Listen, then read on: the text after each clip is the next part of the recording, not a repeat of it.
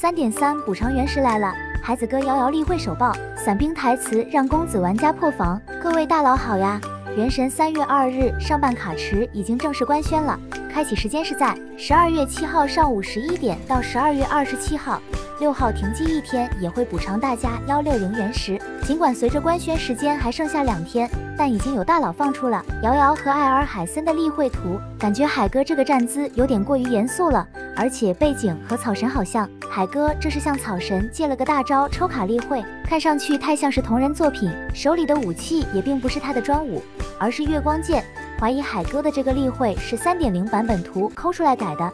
那有理由怀疑这个背景也是拿草神的背景改。那么瑶瑶这款例会有可能会是真的吗？答案也是并不保真。首先，这款例会给人的感觉就是被压扁了，瑶瑶的脸都是扁的。其次就是兔子的精细度还占这么大，看着就很假。如果属实，应该是最大的召唤物了，比锅巴、兔兔伯爵、克里安巴都要大。瑶瑶恐成第一位拥有坐骑的角色。最后就是有关伞兵的台词也曝光了。